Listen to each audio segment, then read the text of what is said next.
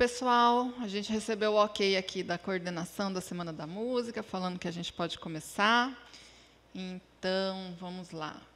A gente está num ambiente super intimista aqui, todo mundo se conhece. Então, quem quiser chegar aqui mais perto, tá? Porque depois a gente vai trocar a ideia, eu acho que fica até mais fácil. Vai ser um bate-papo, praticamente, tá?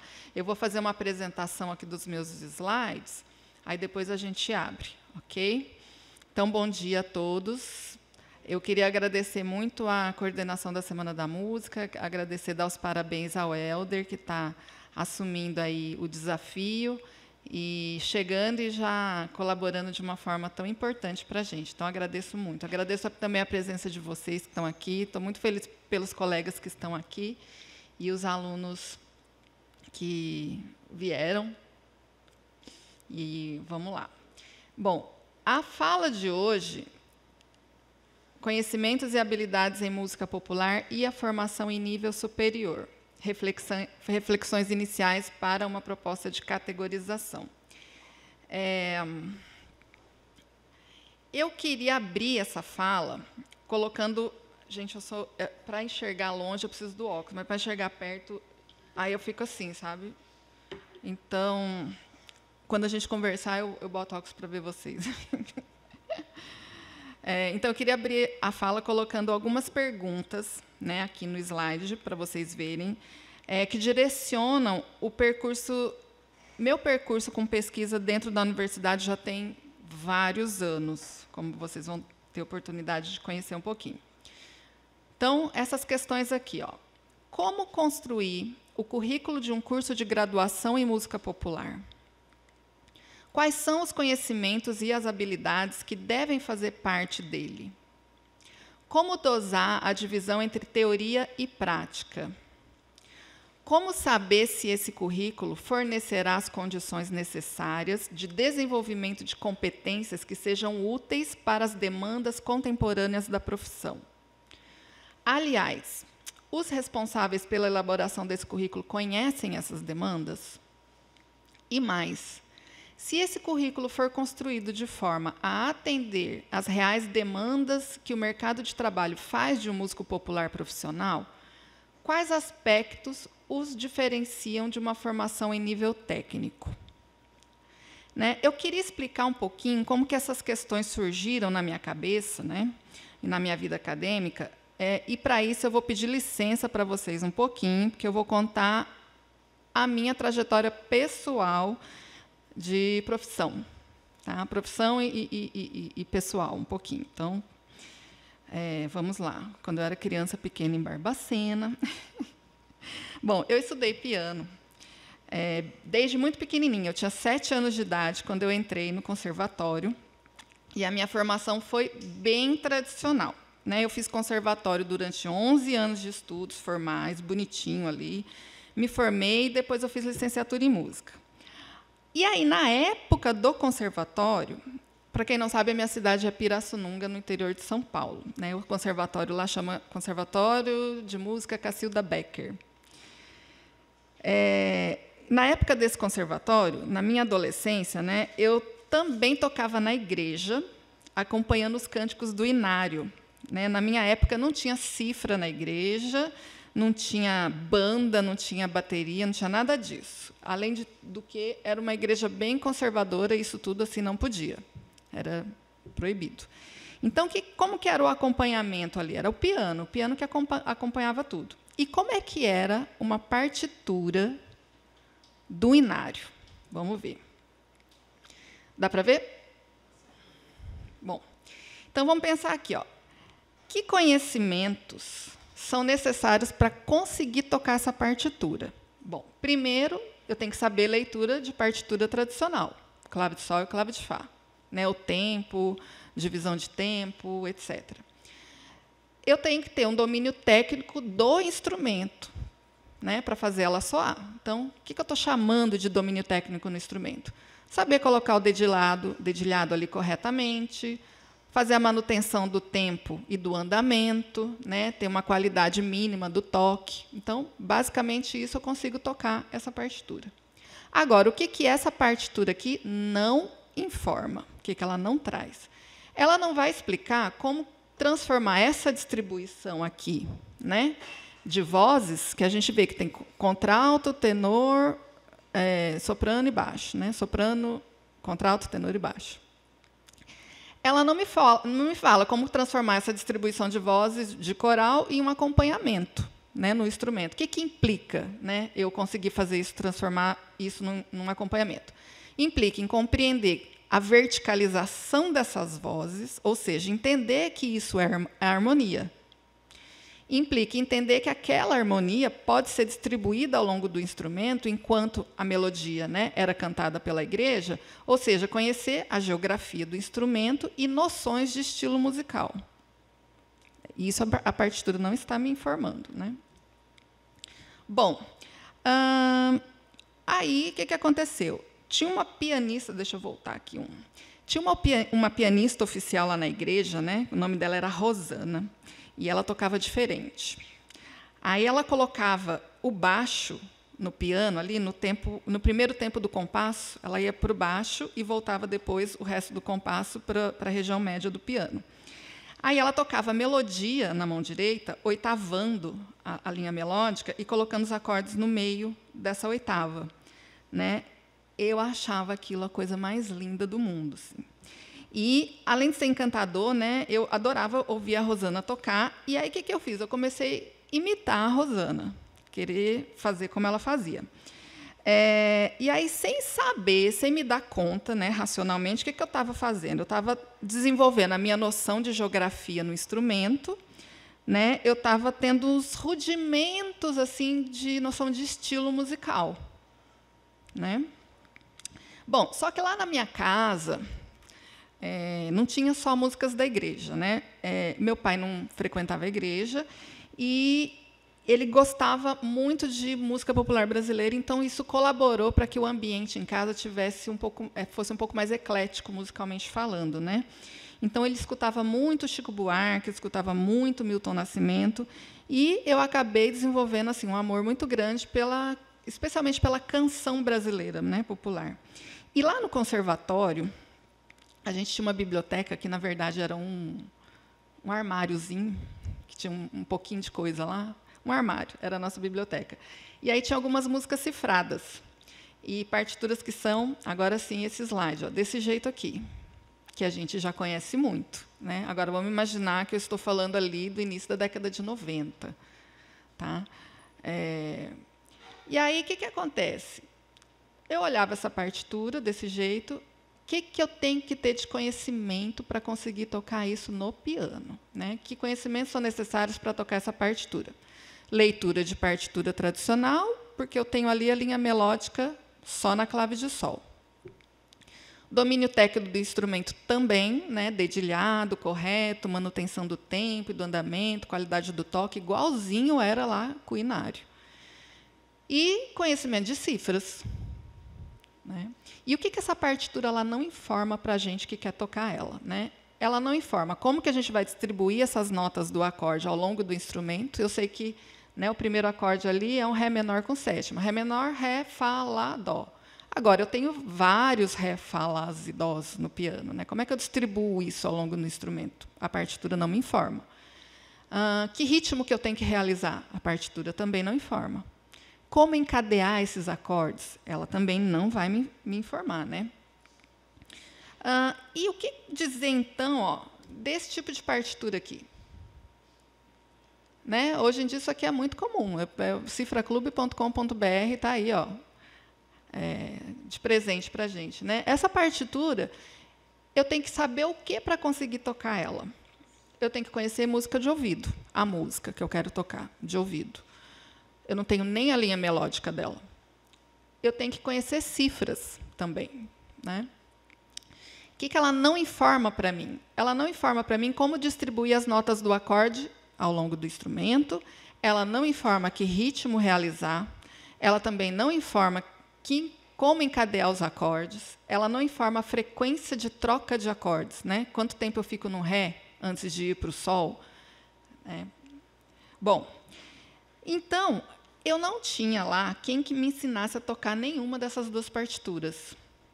Né? Mas aí dia, teve um dia que simplesmente minha ficha caiu, né? Eu estava numa aula de harmonia lá do conservatório, né? Que eu tinha que ir duas vezes na semana naquela aula, é, é, enfim, que eu achava chata pra caramba, assim, um negócio abstrato, completamente abstrato.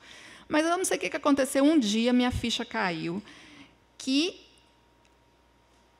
onde eu ficava ali distribuindo aquelas vozezinhas nos exercícios, não pode quinta paralela, não pode quarta paralela, etc. Vocês estão rindo porque vocês estão vivendo isso, né? É, quando eu entendi que aquilo ali significava acordes, aí assim, bom, né? Minha cabeça assim explodiu, né? Aí eu comecei a juntar, né? O que eu vi a Rosana fazer lá no piano, com essa verticalização dos acordes do inário. Aí finalmente eu entendi que aquilo verticalmente eram acordes e que dava para acompanhar sem tocar a melodia, só fazendo um acompanhamento, tirando a melodia e o povo é que cantava, né?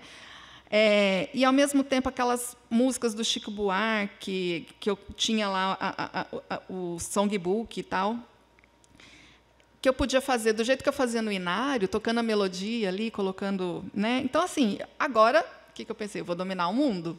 Eu vou ser a melhor pianista da igreja e eu vou ser uma pessoa que também toca música popular. Aquela minha cabeça de adolescente, né? Aí eu entrei para a faculdade e eu tive contato com o que na faculdade? Com metodologia do ensino da música, todas essas questões pedagógicas e tal que a gente aprende na licenciatura. E eu acabei me apaixonando também pela licenciatura, né? Essa coisa do ensinar. E aí o que eu pensei na faculdade? Bom, eu vou ser aquela professora de piano que eu queria ter tido quando eu era jovenzinha adolescente. Né? Eu vou explicar para as pessoas como raciocinar em cima do piano para elas tocarem música popular, que era o que eu sempre quis ter tocado. Né?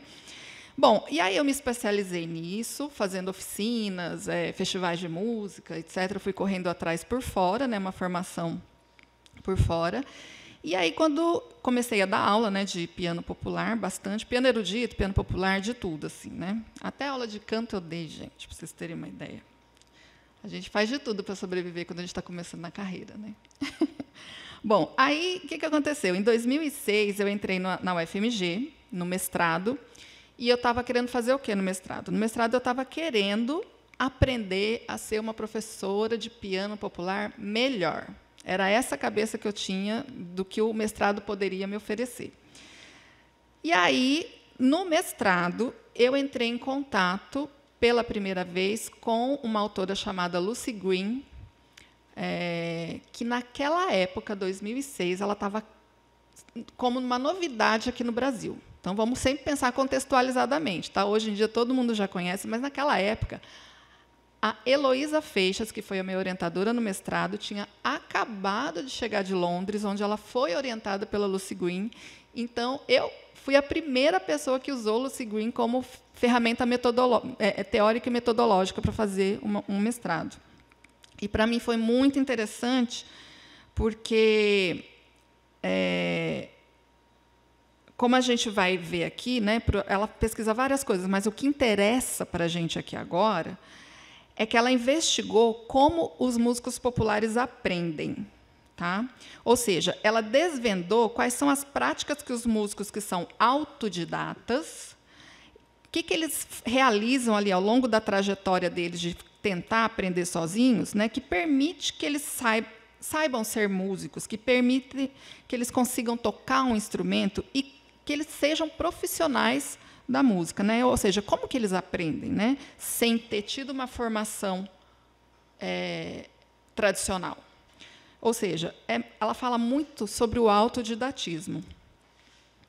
E ela tem um conceito que se chama práticas de aprendizagem formal de música, que nada mais, nada menos, ela categorizou essas práticas dos músicos populares, que é, resumidamente, eles aprendem a tocar o instrumento deles de ouvido, né, copiando músicas de ouvido de gravação. Hoje em dia, gente, vocês são muito privilegiados. Vocês têm vários aplicativos aí que você bota mais lento, você separa as faixas, quero escutar só o baixo, aí separa. Naquela época, não. Né? A gente voltava fitinha lá, ficava indo e voltando, indo e voltando, CD, aí voltava só aquela faixa do CD. Né? Então, essa. É, ficava voltando, exatamente. Fita cassete, a gente ficava rebobinando. Né? Então, é uma prática difícil e que requer muita né, esforço, muita disciplina. Não é fácil. Uh, outra característica dessas práticas de aprendizagem informal é tocar músicas conhecidas. Isso é fundamental. Parece uma bobagem, mas não é. Uh, e nisso tem muito afetividade envolvida. O músico ele não fala assim, ah, eu quero aprender a tocar uma música do Coldplay que eu adoro. Ah, mas ela é muito difícil tecnicamente para mim, eu vou começar com outras mais simples. Ele não tem essa noção. Ele quer tocar aquela música que ele gosta. Se ela é difícil, está acima do nível dele, não está, ele não, não sabe disso. Né? E ele quebra a cara muitas vezes, mas ele vai ali na tentativa de erro e acerto. Uh, apre eles aprendem tocando, trocando ideia com os colegas, com os familiares e observando. Não tem um, nenhum deles está ali é, com a função de ser professor. Eles estão ali, assim, numa troca de ideia quase que entre pares mesmo, do mesmo nível. Né? É tocando em grupo, isso também é uma característica fundamental, ou seja, muitas vezes é aquela história, né? Os meninos estão no colégio, aí fazem amizade e tal, aí vamos fazer uma banda? Vamos. Ah, eu sou o baterista, eu sou o guitarrista, mas nem instrumento às vezes eles têm. Mas eles já têm o quê? Uma banda. Então, o grupo é fundamental. E tem uma integração muito grande entre ouvir, tocar e criar. Né? Não tem aquela coisa compartimentalizada como a gente tem no estudo formal. Agora é a hora da aula de tocar. Agora é a hora da aula de ouvir. Não, é tudo meio que junto. Né? Ouvir, tocar e criar é tudo junto e com grande ênfase na criatividade. Bom, e o que é interessante observar sobre essas práticas que a Lucy Green é, organizou, né? Que tem uma diferença bem demarcada entre o jeito de aprender música no modelo conservatorial e nesse processo autodidata informal.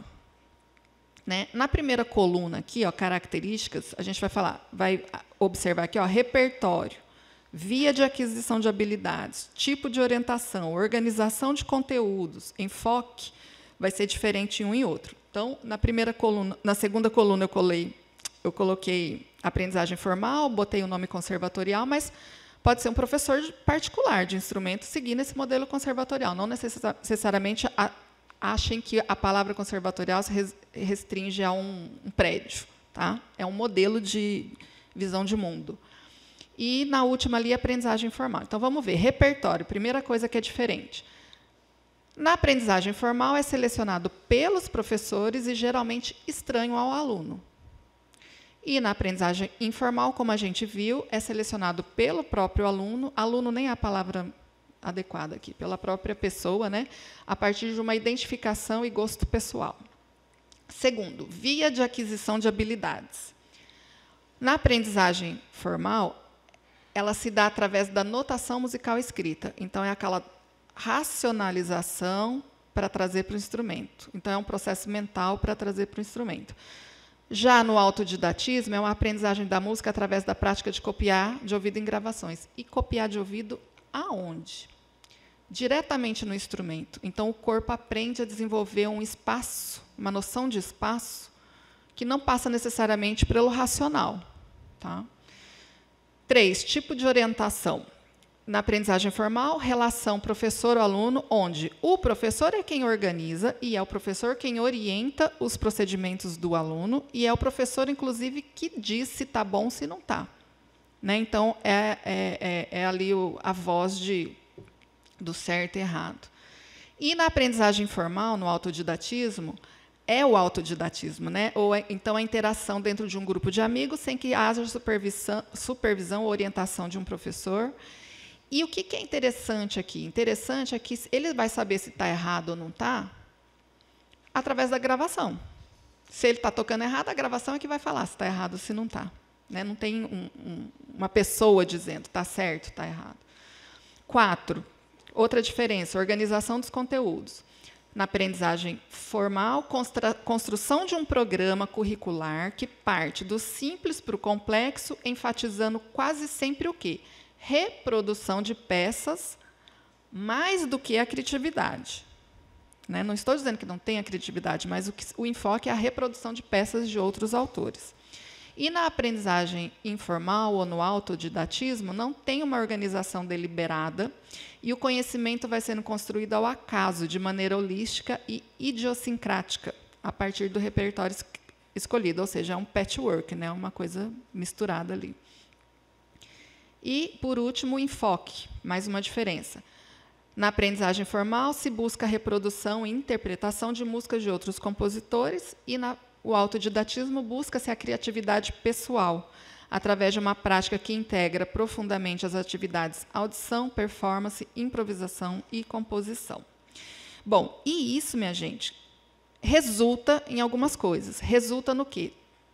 É, favorece a, ao desenvolvimento de determinadas habilidades. Tá? E o que eu estou falando aqui é no sentido genérico. Né? É claro, ah, mas eu, eu, comigo foi diferente, fulaninho... Não, eu estou falando do genérico em termos de né, é, condições normais de temperatura e pressão.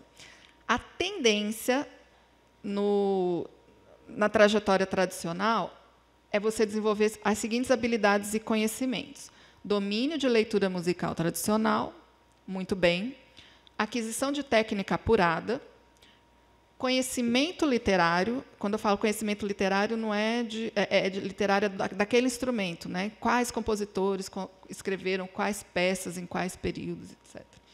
Disciplina você tem que apresentar um repertório X no, no, na prova tal do meio do semestre, na prova tal do final do semestre. Então, você se organiza e você tem uma disciplina para aquilo. Habilidade para escolher e empregar estratégias de estudo em cada situação a ser dominada.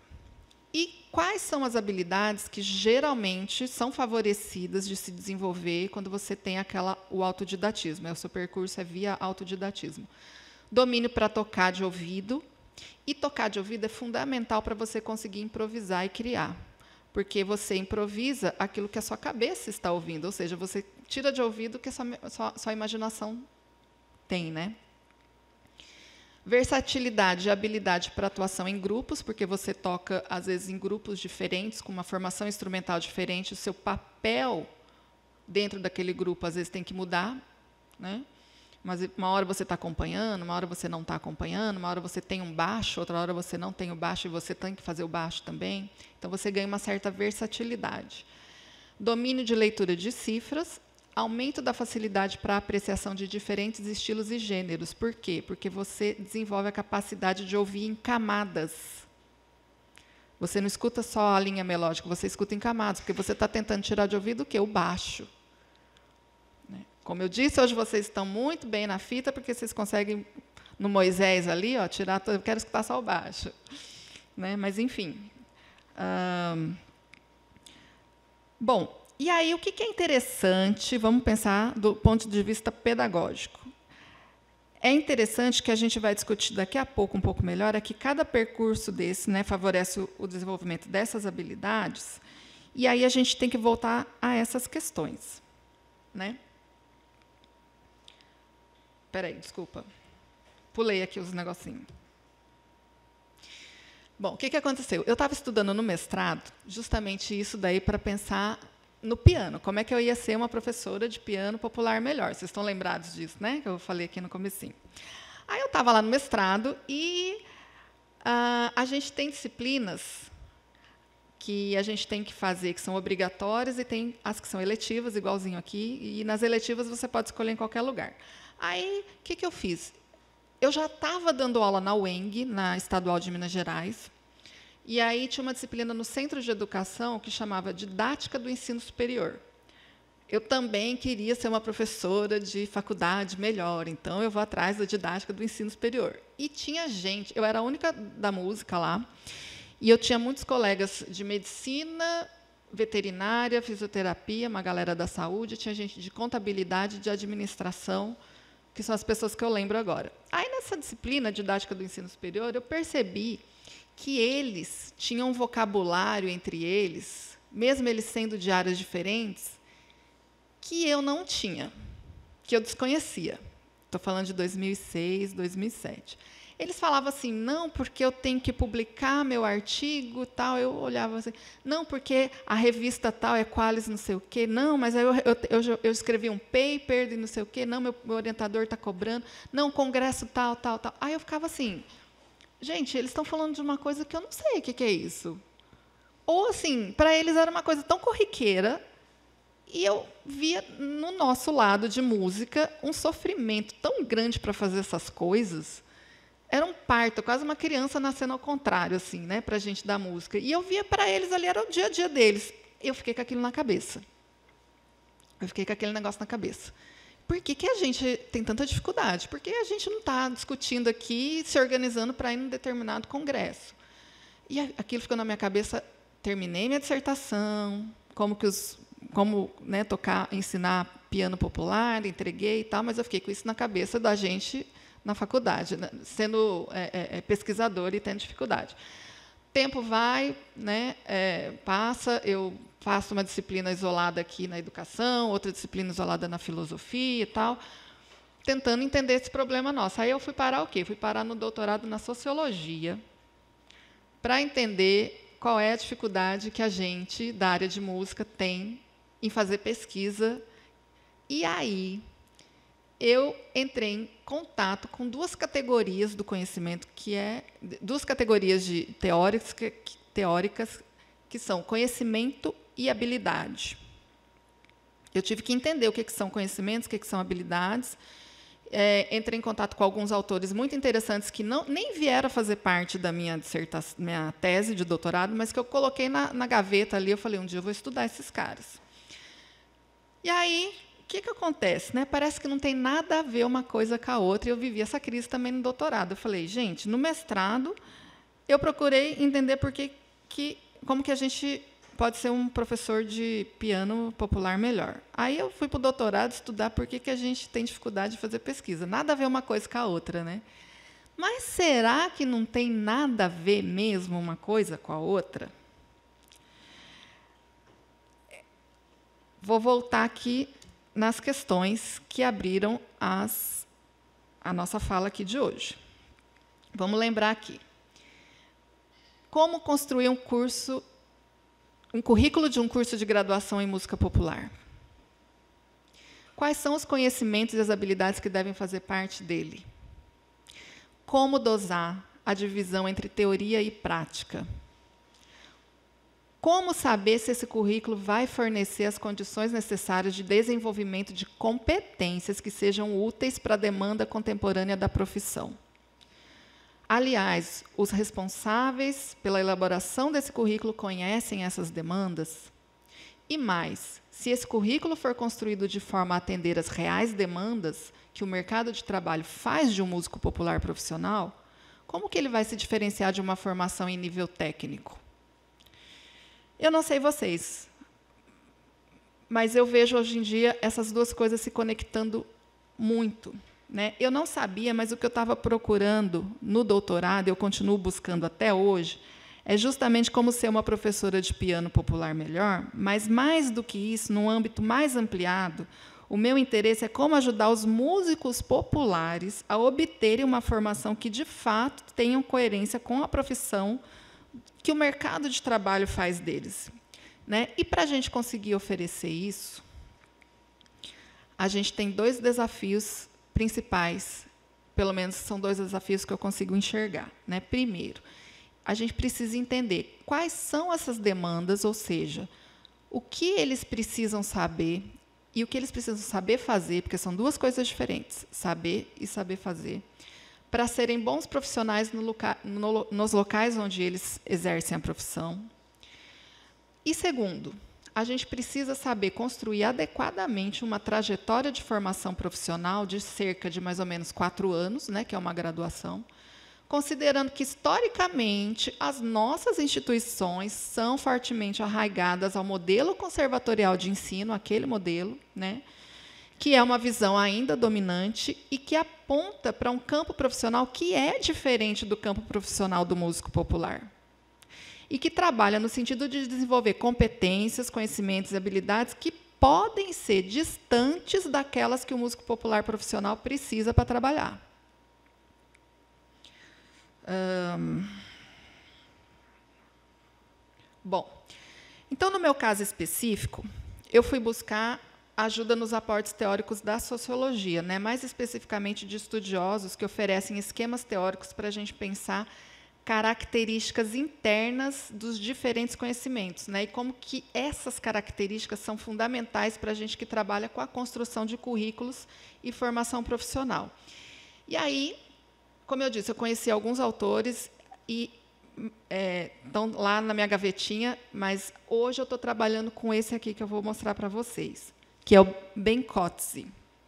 Ben Coetzee ele, é, ele filó, é, trabalha com filosofia da educação é, é, em Londres, né, no Instituto de Educação de Londres, mas ele tem um trabalho também com sociologia da educação profissional, com currículo profissional, e é esse aparato dele que, que eu vou conversar com vocês aqui.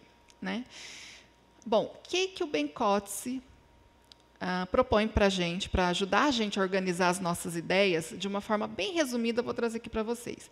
Ele argumenta o seguinte: uh, o pessoal da educação, né, o campo da educação, que também estuda como construir currículos, que é, naturalmente é o pessoal, né, que é a área por excelência, né, ele, eles propuseram assim, estudar na década de 70, 70, uma corrente de pensamento muito aderida pelo pessoal da educação, e aí as licenciaturas, no geral, também vão na onda, que é assim, olha, para você formar um profissional, você precisa é, fornecer prática. Um profissional bom, ele tem que ter, você tem que, é, é, ele tem que ter competências que só são desenvolvidas se ele praticar.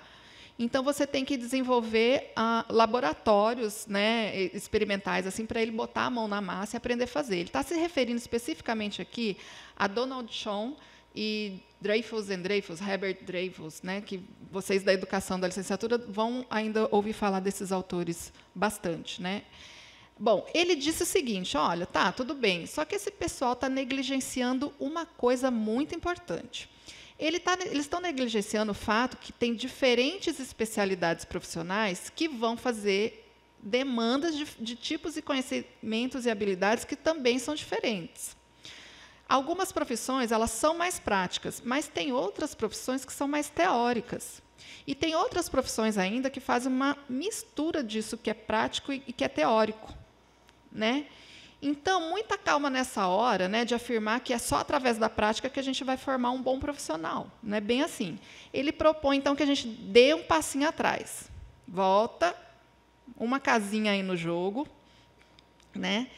E ele propõe assim: vai olhar o que, que um especialista de uma determinada profissão faz, como que ele trabalha, um expert daquela área, entende o que ele usa enquanto ele usa, Aí, mapeie os tipos de conhecimento que ele, demanda, que ele lança a mão, os tipos de habilidades que ele lança a mão, e tenta entender de fato o que, que ele utiliza, se é mais prático, se é mais teórico.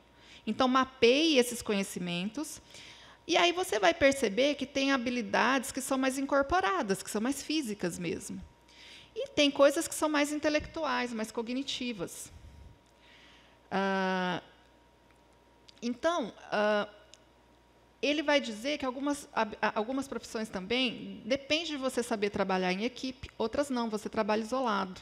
Tem outras habilidades que você depende de lidar com pessoas, com público, e você tem que desenvolver uma uh, perspicácia de saber ler o cliente, ler o profissional, uh, uh, os outros profissionais né, que também dialogam com a sua profissão.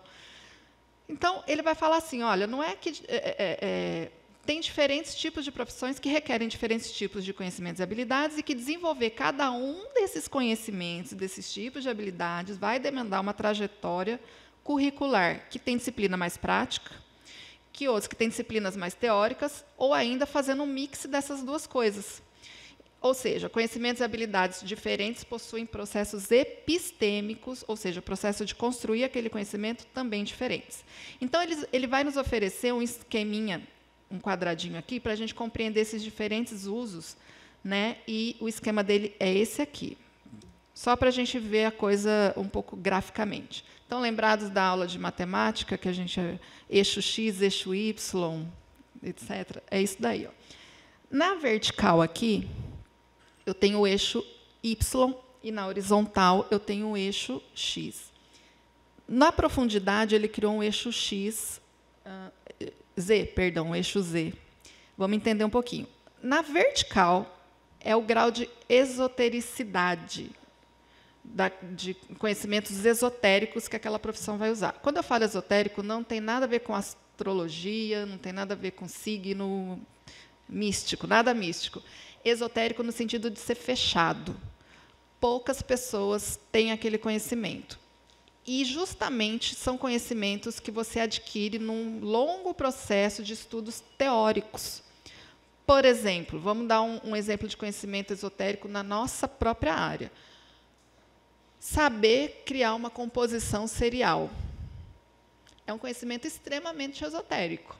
Para você saber fazer aquilo, você tem que ter um, uma série de conhecimentos cognitivos, intelectuais, e você vai dialogar com um grupo também pequeno. É esotérico. Então, é nesse sentido. Se o conhecimento daquela, daquela profissão for muito esotérico, ele vai caminhar muito na vertical. Se for pouco esotérico, ou seja, se não é tão fechado assim, tão restrito, mais pessoas podem ter acesso, ele caminha pouco. Vamos falar agora do eixo X. O eixo X é o tanto que aquela profissão é exposta ao conhecimento do tipo tácito. O que é o conhecimento do tipo tácito? É o conhecimento que você tem facilidade para fazer, mas você não tem tanta facilidade para explicar o que você faz. Né? E vamos pensar o seguinte: uh, muitas vezes você, eu acho que se a gente perguntasse para o como que é o nome daquele menino que fez o gol de voleio no, na Copa? Lindo, o gol mais bonito. Richarlison. Se a gente fosse perguntar para o Richarlison, Richarlison, explique para a gente como você fez esse gol de voleio. Ah, ele não ia falar assim, eu fiz uma, uma, uma, parábola no ar aqui de um grau tanto, eu coloquei uma força. Ele não vai saber explicar o que, que ele fez. Né? É difícil explicar o que fez. Muitas vezes também a coisa de tocar um instrumento pode ser um conhecimento tácito. Você sabe tocar e você não sabe explicar como que você toca. Então, conhecimento tácito é isso, é um conhecimento que você muitas vezes sabe fazer, mas você tem certa dificuldade de falar sobre como você faz ele.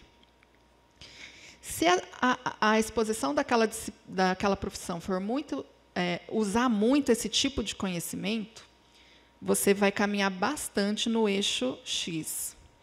Tá? Usar menos, vai caminhar menos. E o eixo de profundidade, que é o Z, essa tracejadinha ali, essa seta tracejadinha, estou gaguejando hoje, gente. Bom, fala das habilidades sociais. Que tanto de habilidade social aquela profissão demanda? Que tanto você precisa saber lidar em equipe com a sua própria equipe? Que tanto de, de, de perspicácia você tem que ter para lidar com pessoas de fora da profissão? Né? Saber lidar, por exemplo, com o paciente, a família do paciente que está doente, que você tem que ter todo um jeito para falar e tal. Então, são habilidades de lidar com outros seres humanos. Se for muito alto a demanda que aquela profissão faz, vai caminhar muito assim. Então, você vai podendo mexer nesse quadradinho aqui de acordo com as características daquela profissão. Tem uma coisa interessante que ele fala, que é o seguinte. Vou falar só do conhecimento tácito aqui. Ele chama atenção que às vezes você precisa só saber fazer. Mas tem profissão que você precisa saber fazer e falar como você faz, mesmo sendo conhecimento tácito. Bom, qual é o exemplo que ele dá para a gente? Né? Eu vou ler aqui para vocês, ó, palavras dele. Peraí.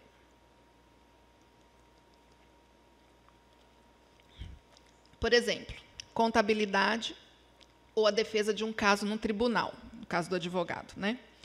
Saber fazer essas duas profissões implica saber representar em pormenores exaustivos exatamente o que se faz ao mesmo tempo em que se está fazendo.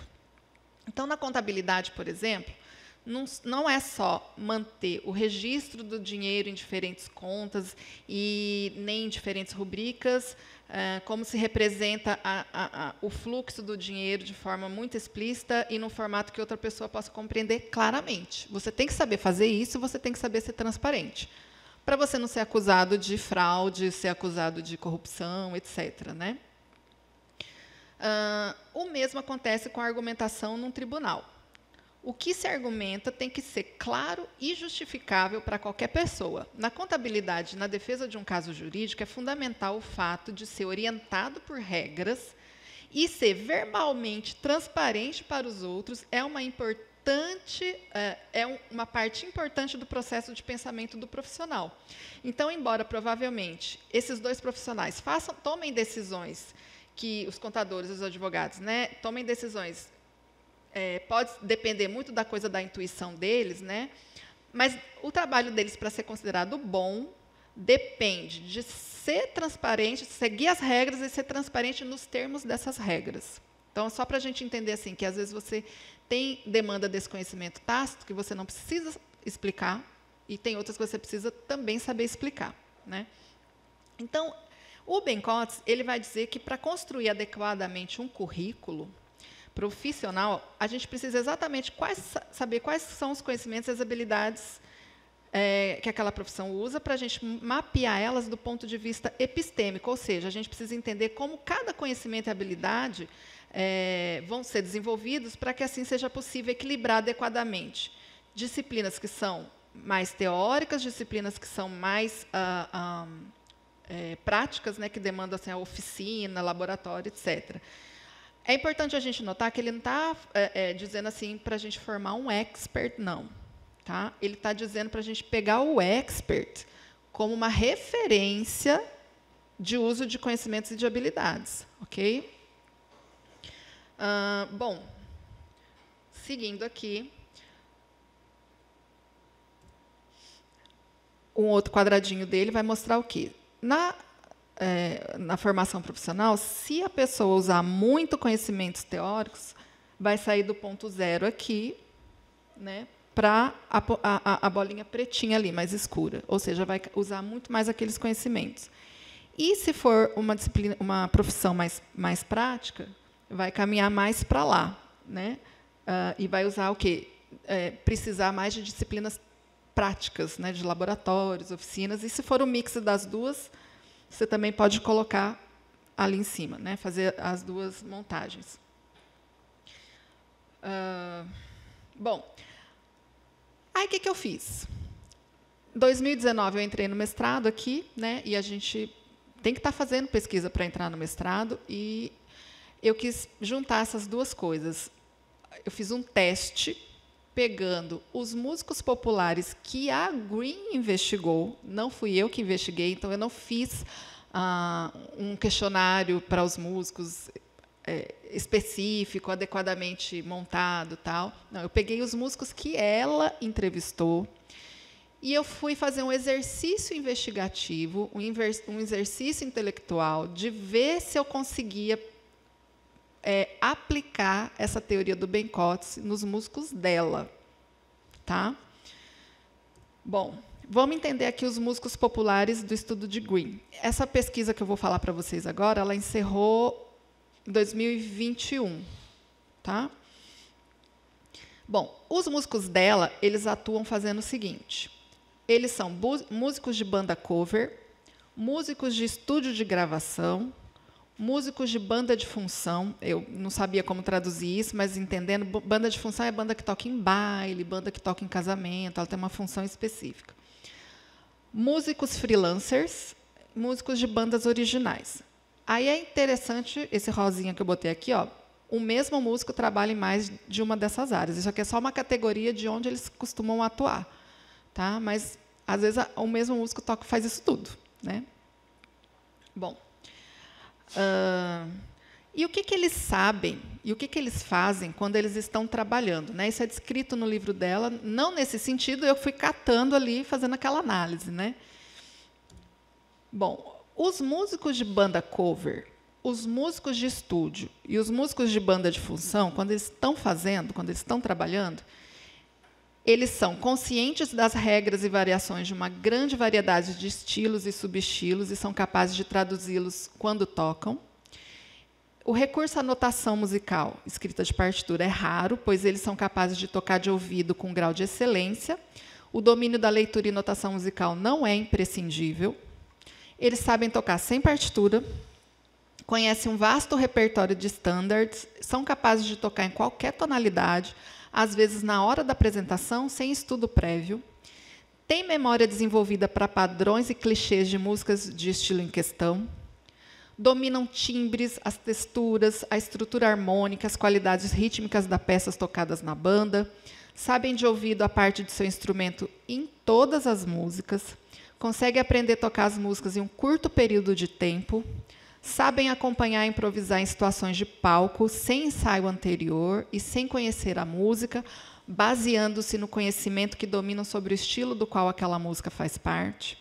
O grau de feeling, ou seja, né, a capacidade de capturar as mais ricas, finas sutilezas rítmicas e melódicas que nenhuma partitura vai dar conta de escrever, né, é, revela que, tem uma, que eles têm uma aquisição de um alto nível de versatilidade e conhecimento de estilo, utilizam seus instrumentos adequadamente nos diferentes estilos, sabendo dialogar e interagir com as, os demais papéis desempenhados pelos outros instrumentos, os outros instrumentistas, conseguem tocar ao vivo, reproduzindo o som original das gravações o mais parecido possível, usando equipamento que provavelmente não é o mesmo que foi usado na gravação do estúdio, em uma acústica que não possui as propriedades de um estudo de gravação e sem os benefícios da engenharia de som. Os músicos de estúdio e os músicos de banda de função. Além de várias daquelas outras habilidades, eles também sabem ler notação e podem vir a utilizá-la à primeira vista. Para esses músicos, notação musical é uma necessidade. Músico freelancer e músico de estúdio. Conseguem reproduzir músicas em qualquer tom exigido pelo líder da banda, são capazes de reproduzir melodias, riffs, sequências de acordes e ritmo ritmos imediatamente de ouvido e lembrar deles, são capazes de improvisar tanto sobre progressões familiares quanto desconhecidas e, não, e, e conseguem distribuir, é, contribuir com ideias originais para as músicas novas, possuem altos níveis de flexibilidade e adaptabilidade para atuar em uma variedade de estilos musicais, contextos de performance ou gravação, às vezes com muito pouco ou nenhum. Eita, corto aqui muito pouco ou nenhum ensaio.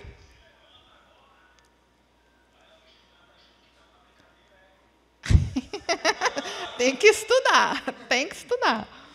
E músicos de bandas originais, né? Aqui é um parênteses. Músicos de bandas originais não necessariamente são exigidos em relação a um bom desempenho nas habilidades que foram descritas para os freelancers, para os de estúdios e de banda cover.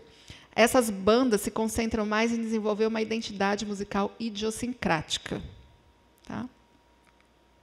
Bom, aí eu peguei, vou utilizar essas coresinhas aqui para representar no diagrama de Coetzee qual que a gente vai mobilizar mais nessas coisas que a gente viu, tá? nessas coisas que eles sabem fazer.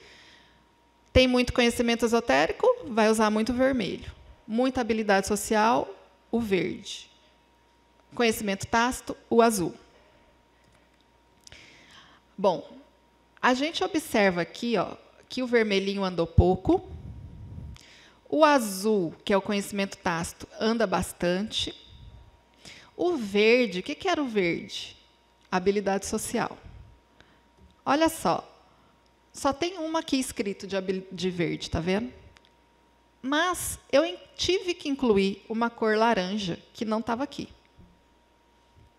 E aí vem a coisa interessante, que quando a gente utiliza uma teoria, a teoria é o que esse nome diz, ela é uma teoria. Às vezes a gente precisa expandir ela, porque ela não dá conta de explicar tudo. E o Ben Coates, ele não falou de músicos. E aí, quando a gente vai olhar para a música, a gente tem especificidades nossas que ela não dá conta de explicar. E aí eu, eu explico para vocês a corzinha laranja. Quando eu falo de habilidade de acompanhar, isso é tanto tácito quanto habilidade social.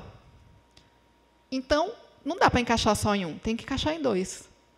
Habilidade para improvisar, mesma coisa. Habilidade para compreender os diferentes papéis e funções dos instrumentos em cada música, quando você está tocando num grupo, também. É tanto uma coisa quanto outra.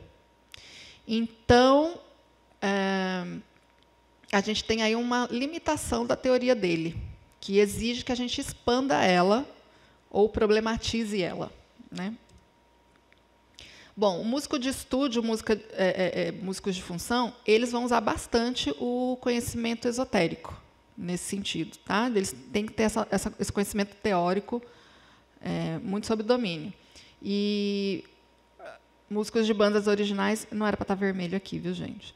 É, vão usar também uh, conhecimento esotérico porque é uma coisa ali fechada, né, deles. Eles vão estar buscando a linguagem específica deles. Bom.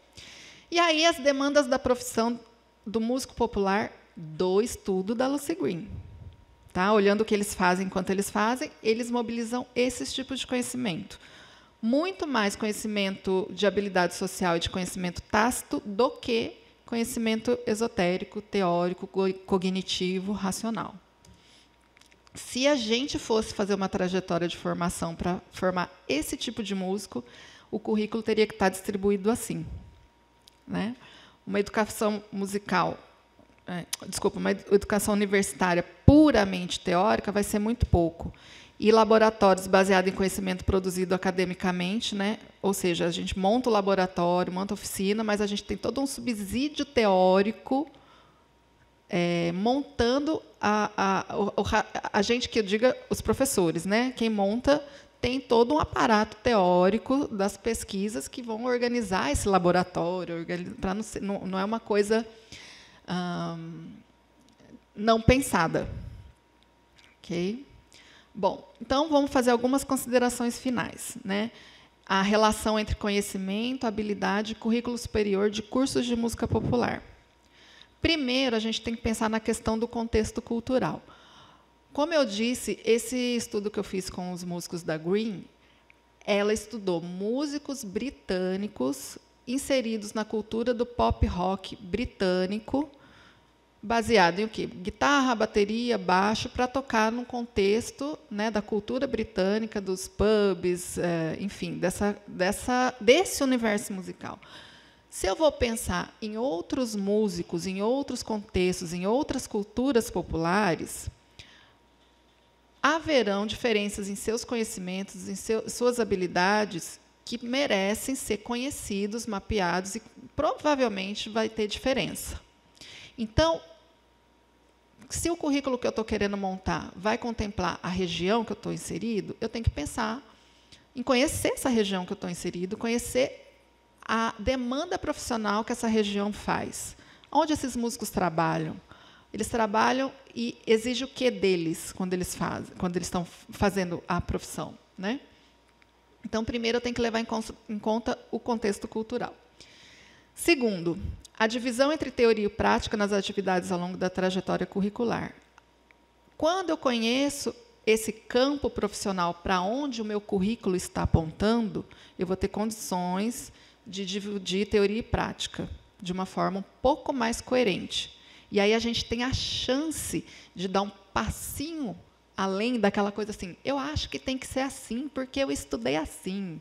Eu acho que tem que ser assado porque meu professor lá do conservatório ensinou assim. Não. A gente tem que ter a humildade de entender que a gente não está nesse mercado de trabalho. A gente, que eu digo assim, os professores né, que montam esse currículo, a gente não está. A gente não está exercendo essa profissão lá no mercado. A gente está aqui e, às vezes, a gente não conhece. Então, a gente tem que mapear esses espaços. Terceiro, uma coisa que uh, eu aprendi, né, vendo essa, eh, fazendo, desenvolvendo essa pesquisa, são os limites da teoria do Ben-Codse, que ela vai precisar ser discutida, expandida, e a gente vai ter a chance de é, conhecer um pouquinho melhor sobre a nossa profissão, conhecer um pouquinho melhor sobre os conhecimentos que a gente usa mas a gente tem um ponto de partida mais concreto, mais é, é, é objetivo, que é um aparato teórico ainda que ele não dê conta de explicar. Né? E a gente tem a chance de depois dialogar com outros autores e tal. É um, uma coisa para a Semana da Música do ano que vem. Eu espero trazer aqui Christopher Winch, que é um outro que eu estou usando agora, mas eu não vou trazer agora para conversar com vocês. E o quarto, a função da universidade, a última reflexão que eu quero trazer aqui. A gente viu ali, né, é, com minha, minha experiênciazinha pequena com os músicos da Lucy Green, é praticamente um curso técnico, dá conta de formar aqueles profissionais. Qual é o papel da universidade, então? A gente vai querer reproduzir isso? né? Bom, eu penso que o papel da universidade ele está para além de oferecer só essas habilidades, só esses conhecimentos.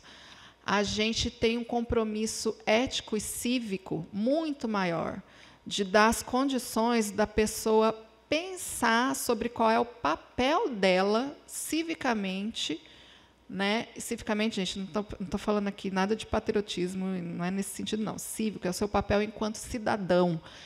E o papel da sua profissão, qual é o papel que a sua profissão desenvolve, aonde ela está inserida, e qual é o papel que a sua profissão desenvolve em relação com outras profissões.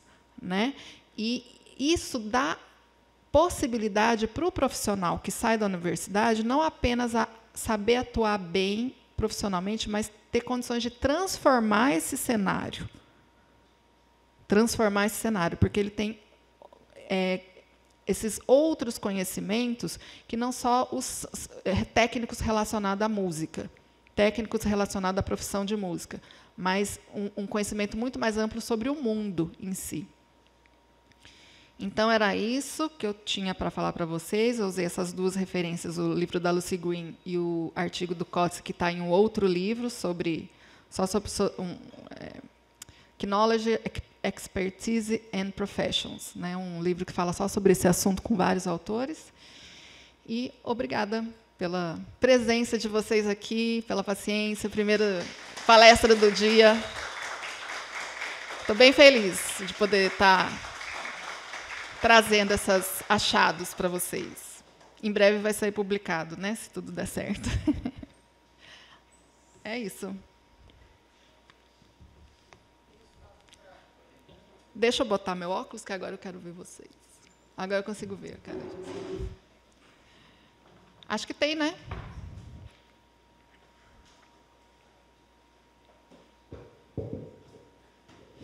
Deixa eu voltar aqui, deixar o. Oi, Carol, muito interessante, né? Isso Eu, eu, eu fiquei, achei engraçado né, quando eu tenho aquela lista de habilidades, né? E, e, e a divisão, que não, não, ela não levou em conta, né, ela levou em conta aquela da, de comunicação dos músicos entre eles e tudo, mas não da comunicação do músico com o público, que eu acho que é uma coisa tão importante, ainda mais na profissão do músico popular, talvez ainda mais, mas eu diria que para todo mundo, e, e, que eu acho que é um fator que acaba também é, sendo bem importante, né?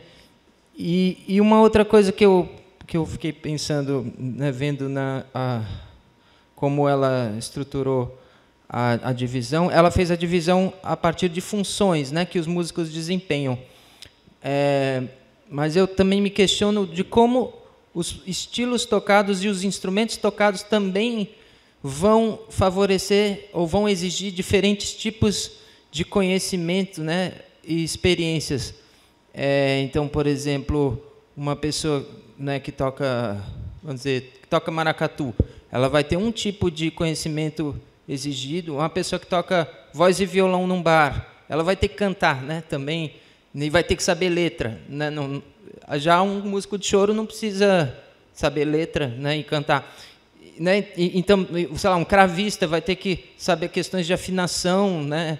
já assim muito nítidas, muito específicas. Já um outro músico né, de percussão vai ter que saber outro tipo né, de. Então, isso ela não, não abordou, né? mas seria também um outro campo para ser trabalhado. E, e a minha terceira comentário é nessa última da, da, função da universidade, né, da gente não ser só um curso técnico, se aí então caberia um, um outro eixo, né, e a gente pensar esse outro eixo de, desses outros conhecimentos necessários para que o, o, o, músico tenha a capacidade de refletir sobre a sua profissão e, e de mudar né, o seu contexto profissional. Obrigada, Arthur. Sobre a primeira coisa que você falou, que foi sobre a comunicação né, com a plateia, se é um, um, uma atuação profissional com a música, que você está no palco, está comunicando, sim. Vai, é uma habilidade é, social engloba também esse tipo de comunicação, a interação social. Né? Agora, tem, tem atuação do músico que não necessariamente ele está ali com a plateia. Né? Agora, a gente também tem uma, uma demanda atual que é, tem que ser pensada, que é a comunicação em rede social. Né? Uma comunicação de você vender o seu produto em rede social. São, é uma habilidade que é nova, que vem de um tempo para cá, mas que tem toda uma técnica para se aprender a fazer isso, né? E que deve ser, eu penso que deve ser contemplada numa formação de um músico, no geral, não só de músico popular, mas no geral, né? É, a segunda coisa sobre qual foi? Eu, eu vou falar, vou falar do, ah, sim, você falou das diferentes habilidades, né? Exato, exato. São, são, são conhecimentos que você tem que ver o campo, vai para onde. Aí você tem que fazer o mapeamento.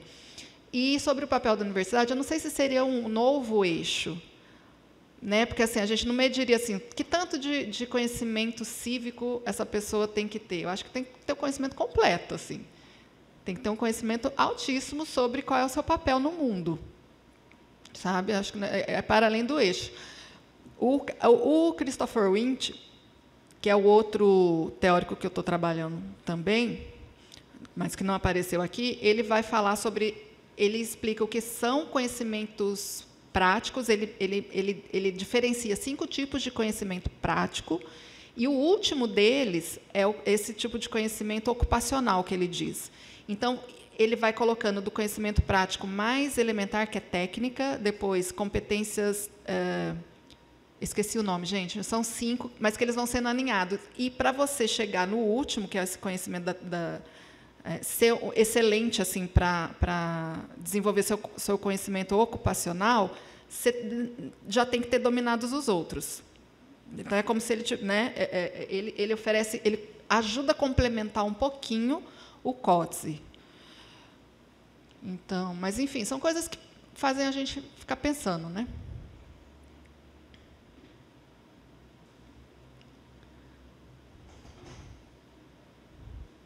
Sandrone.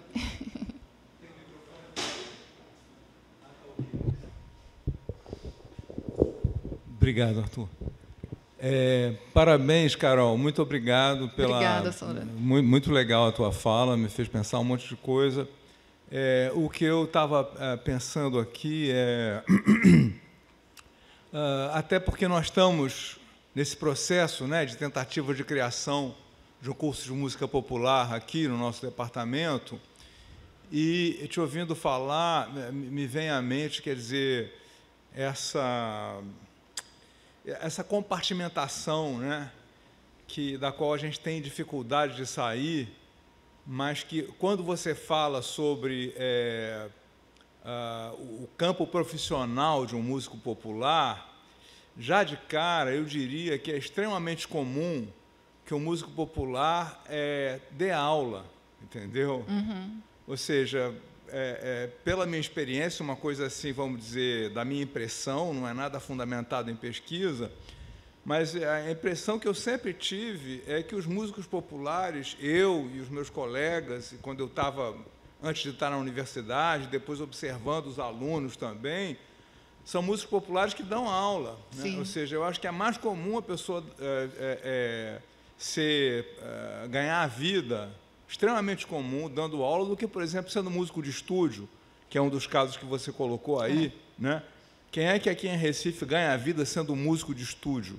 Suspeito que muito pouca gente, né? Uhum. Então é, é, e aí isso, é, é, essa, se isso for verdade que eu estou falando, é, pensar sobre como é que os músicos, qual é o mercado profissional desses músicos populares, já coloca em xeque essa questão é, é, da licenciatura, ou seja, a gente está fazendo um plano, é, em princípio, né, de ter um curso muscular dentro do bacharelado. Então, o cara não vai ter a licenciatura. Uhum. Mas, para você ser professor de música, de música popular, sempre precisa da licenciatura? Nas instituições parece que sim, né? É. Mas é, é, nas escolas de música privadas, será que precisa também? Uhum. É, em, é, em casos sobre os quais eu vou falar um pouquinho na quarta-feira, que são casos assim de um ensino mais comunitário de música, uhum. do tipo região coral, o coral da empresa, da igreja, da escola, entendeu? Uhum. É, é, ou, por exemplo, é, liderar um grupo percussivo, né? Uhum. que são atividades também é, educativas, né? Uhum. mas é, que, não, que não passam tanto por instituições, né? ou de uma maneira um pouco diferente do que ser o professor de música. Né? Uhum. Será que isso também precisa de licenciatura? Eu não sei, não sei mesmo. Mas, enfim, é, é, são, são questões que me vêm à mente te ouvindo falar, no sentido dessa compartimentação que a gente naturaliza, vamos dizer, né? Uhum. porque ela está é, nos, nos, parâmetros legais também, ela é um pouco dada é, na oficialização da profissão de músico, mas que nessa prática da atividade do músico, é, nem sempre ela, ela, é tão eficiente, vamos dizer assim, ela dá conta da realidade é, do músico, né? Uhum. Então, não sei, se você puder falar um pouquinho sobre isso, eu te agradeço. Tá, joia. É, é bem complexo isso, né? E é interessante o seguinte, o caso do músico que dá aula de instrumento, o caso do músico professor, é o caso da pessoa que tem que saber fazer e tem que saber verbalizar o que ela está fazendo enquanto está fazendo. É como o caso que a gente viu ele exemplificando ali do, do, do advogado na frente do júri. Né? Então, não é só saber tocar, é saber explicar é, é, é, racionalmente para a pessoa como que ela faz. Então, assim, explicar, olha, você tem que movimentar seus dedos assim, assim, assado. E a gente ainda tem um outro tipo de conhecimento, que eu esqueci o nome do tipo de conhecimento. Que quando a pessoa está ensinando, às vezes ela não verbaliza é, com palavras. Ela fala assim, faz, você usa gestos, você usa onomatopeias, né, que é o jeito de você transferir aquele tipo de conhecimento tácito, que ainda é uma outra especificidade da área de música que outras profissões não têm, né? Então, o, o que daria condições para esse professor de, de instrumento é, trabalhar, talvez com mais eficiência, vamos dizer assim, é todo um conhecimento teórico que subsidia essa prática é, pedagógica, essa prática didática no instrumento dele. E a gente tem aí um, uma imensidão de produção de ensino de instrumento, pedagogia do instrumento.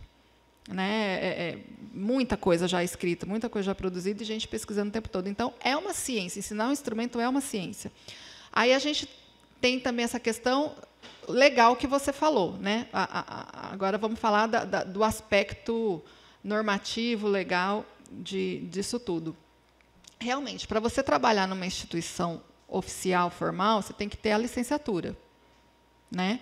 E a licenciatura, no Brasil, ela por lei também, por normativa, ela existe para formar o professor, professor da rede básica de ensino, que é um contexto específico que demanda conhecimentos e competências, habilidades específicas que não necessariamente tocar um instrumento, não necessariamente dar aula do instrumento. Mas a gente também tem escolas básicas e especializadas. É o caso do conservatório.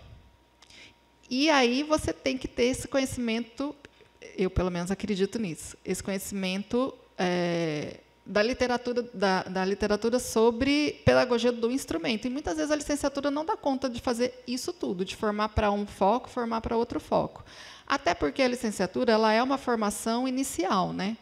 É a primeira formação da pessoa. Ela tem que depois ir atrás de especializações, ou, ou, ou de especializações formais também ou não, oficinas, enfim. É só uma formação inicial.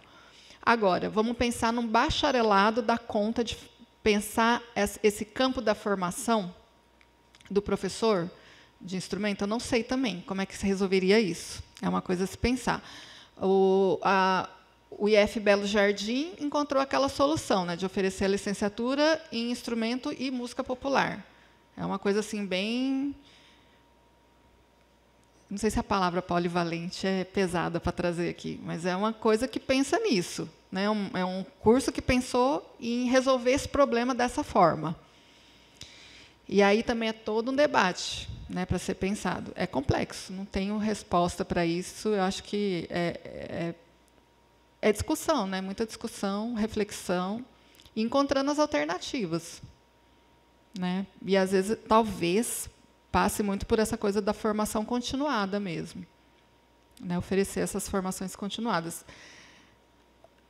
Numa especialização, digamos, que, que, digamos do bacharelado, que vai formar o músico para atuar como músico e não como professor. Aí a gente oferece aqui a pedagogia do instrumento, que a gente já ofereceu esse, esse, essa especialização aqui três vezes, né? Pedagogia do instrumento. Ainda que ele saia com diploma, esse diploma não dá legalmente o direito dele de fazer um concurso que exija licenciatura. Ele vai ter o conhecimento, mas legalmente ele estará impedido. Né? Ou seja, é bem complexo. É isso. Léo?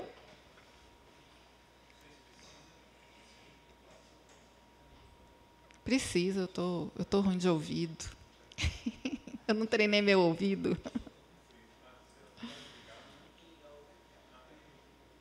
Estou com frio aqui. Também. É, Carol, uh, parabéns pela palestra maravilhosa. Obrigado mesmo. Obrigada, Léo. Extremamente. É, me surgiu só uma dúvida, na verdade, mesmo que eu não entendi a, a partir da perspectiva que você apresenta, que é o seguinte: a respeito do que você delimita como conhecimento esotérico. Por que a dúvida? É, é, pensando em, em, por duas perspectivas.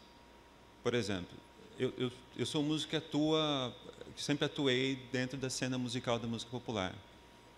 E percebo que, dentro da, da, da, da, da prática da área, há um conhecimento uh, que, que é compartilhado entre, entre seus pares. Por exemplo, não é estranho eu falar para uma pessoa, falar assim, olha, é sub 5251 e vai para o 6. Né? Uh, isso é um conhecimento extremamente nichado. Uh, isso não, isso se aprende na, na, na, prática da área. Ou, por exemplo, é, AABA, é, a forma de ser AABA, depois a gente modula um tom acima. Práticas de baile, né? ou se não, criar um vocabulário. Não seria. E aí, pensando a partir da minha perspectiva enquanto pesquisador, do meu, do meu doutorado, ah, o próprio conceito de cena musical pressupõe um corpo teórico, um corpo, um corpo de conhecimento, teórico não, um corpo de conhecimento que é compartilhado pela, pela comunidade ou pela cena musical, ou pela subcultura, ou pela tribo.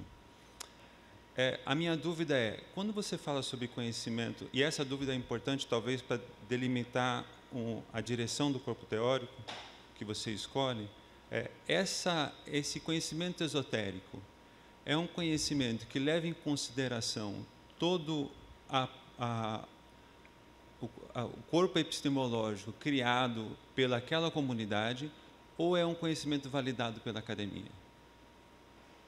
Porque é, editor, é passado por um corpo editorial. Porque, dependendo da forma, isso pode se criar o que eu já venho falando várias vezes de tipos de epistemicídios né? Uhum. de não se levar em consideração, por exemplo, todo um conhecimento que um, um mestre de ciranda, ou, por exemplo, conversando com o Luciano, que é nosso aluno, ele tem um conhecimento enorme, muito específico, muito nichado, muito, muito passado entre um músico e outro, que determina a, todo o corpo de conhecimentos daquela, daquele gênero ou daquela prática musical, daquela cena musical daquele circuito musical, tanto de consumo, tanto de tipo de equipamento, tipo de prática de venda, nomes, é, é muito nichado.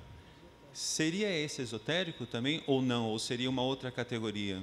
Ou o que é, essa definição de conhecimento esotérico me causa confusão porque ora ele me pareceu naquela na quando você cria as duas barras muito do que estava na, na barra horizontal, eu não consigo identificar a cor. Uh, muito que estava na barra horizontal, para mim fazia parte da barra vertical, como conhecimento esotérico. Essa confusão me, me, me uhum. tá. não seria tácito, na verdade. Ele é um conhecimento muito estruturado. Uhum. Obrigada, Léo.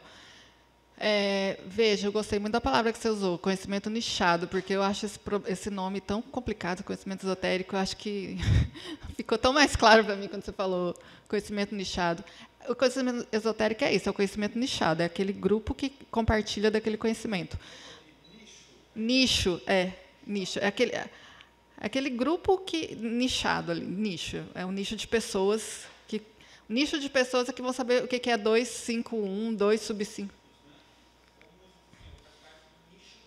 Daquele nicho específico musical.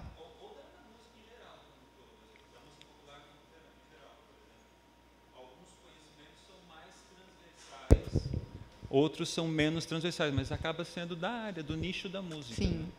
Então, sobre a coisa da, da classificação, o que, que a gente está chamando de conhecimento esotérico, o Ben Kotz, ele não vai dizer para a gente, a gente da área é que vai dizer o que, que é e o que, que não é, entende? Então, a gente, é uma questão de você parar, fazer esse mapeamento e entender o quanto aquele conhecimento é amplamente distribuído ou aquele conhecimento é nichado e é só aquele grupo que fez um percurso geralmente, ele diz, geralmente é teórico para conseguir entender aquele assunto. Então, assim, quem vai dizer dentro da nossa área o que é nichado, o que é esotérico, somos nós. Entende? E aí a gente tem que levantar todas essas problemáticas. Um conhecimento tácito pode ser um conhecimento esotérico. Um, tocar piano. Tocar piano num nível X. Né? Tocar um violão ali de revistinha pode ser um conhecimento amplo. Fazer o gol do Richarlison. Fazer o gol do Richarlison, só o Richarlison. Pronto, jogar futebol, uma pelada de fim de semana, não é, não é esotérico. Mas conseguir fazer um gol de vôlei maravilhoso daquele é muito, muito fechado. Microfone. Mas, veja, nós estamos trabalhando numa perspectiva profissional. Sim. Né? É, não, é diferente, é diferente o, o, o um pouco ah, dentro da minha área seria nós não estamos falando de perspectivas liminoides né ou seja pessoas limi, liminoides ou seja liminoides é pessoas que estão que estão ah, que, que, se juntam para tocar violão no churrasco de final Isso. de semana e É. acho que acho que esse não é o nosso é nosso nicho de discussão ou seja são são pessoas que também é muito difícil se dizer até onde vai essa perspectiva de ser ou não profissional ou que era um profissional na área da música, porque existe algumas pessoas que transitam entre diversas áreas, É. né? Existe um limbo aí. Também compreendo isso. É, é talvez não seja é interessante. A questão é, dentro dessa perspectiva mais profissional e profissionalizante, me causa me causa um certo um certo estranheza tirar dessas habilidades específicas de exercer a profissão e ca- caracterizá-la simplesmente com conhecimento tácito ou não caracterizar os conhecimentos êmicos, na verdade o termo talvez, seria esse, as questões êmicas como sendo esotéricas.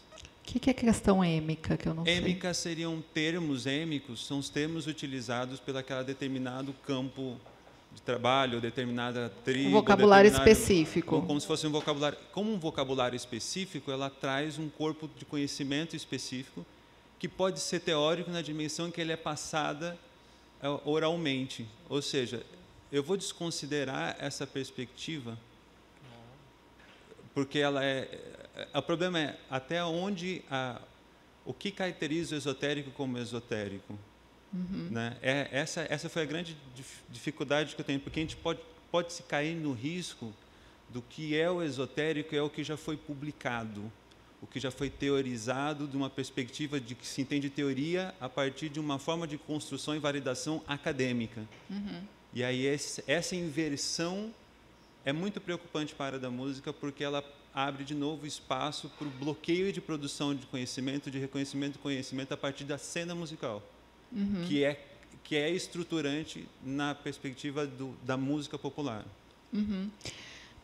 Volto a dizer, quem vai definir o que que é esotérico e o que não é, é quem vai estar fazendo o estudo específico daquela profissão. E não necessariamente vai ser o, o, uma coisa que seja chancelada pelo INS, é, ISSN e ISBN. Né? O que o COTS diz, ele, o que ele usa para, é, na forma genérica né, da teoria, definir o que é esotérico, é que necessariamente você trabalha a parte intelectual e mental para dar conta de, de dominar aquilo. Né? E, e ele diz que não necessariamente é que seja uma coisa complexa. Veja, porque ele, diz, ele, ele dá um exemplo da língua. A gente falar, usar as conjugações verbais corretas, é, é, enfim, o uso da língua né, é, um, é um uso complexo. Só que como a gente está mergulhado nisso e aprende desde pequeno, é um conhecimento amplamente distribuído. Então, eu não posso dizer que é um conhecimento esotérico.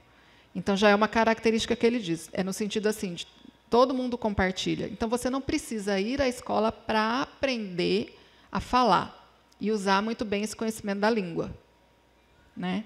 Agora, você precisa ir à escola para quê? Para aprender a ler e escrever. Porque daí você tem que parar, raciocinar, entender. Então, você vai fechando. Né? Aí você pensa assim, já na universidade, a música, que tipo de conhecimentos que você vai ter que parar, estudar, raciocinar e tal, para estar tá dominando ali. Então, ele vai ficando cada vez mais esotérico, cada vez mais fechado. Então, são as características que ele dá para a gente, para gente raciocinar, para a gente pensar nessa estruturação. Ele não chega a dar maiores detalhes sobre isso, não. Ele, ó, ele pede para a gente olhar né, o que, que você usa ali, que, é, que é, você tem que parar, racionalizar, é, é, mentalizar para estar tá dominando. E aí vou fazer de novo um parênteses, a propaganda para o ano que vem. O Christopher Winch ele vai dizer que o, o, é, o, o a capacidade cognitiva, pensar é, um, é uma prática também, é um conhecimento prático, que você tem que desenvolver treinando. Ele tem ele tem um componente prático, né, o pensamento. Enfim, é uma coisa complexa. Né? Enfim, para dizer assim, o que, que a gente vai chamar de esotérico, a gente tem que ter muito cuidado, como você está falando. Né? E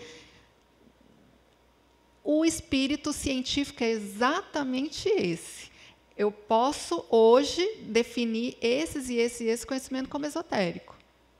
Conforme as coisas vão acontecendo, a vida real vai acontecendo, eu tenho que parar e rever. Reformular, reclassificar, re recategorizar. E assim a gente vai afinando o conhecimento do mundo, né? Sobre o mundo, né? não do mundo. É isso.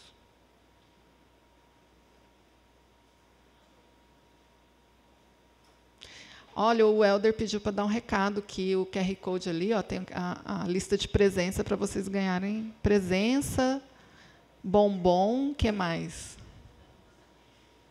Ingresso para o show da Taylor Swift.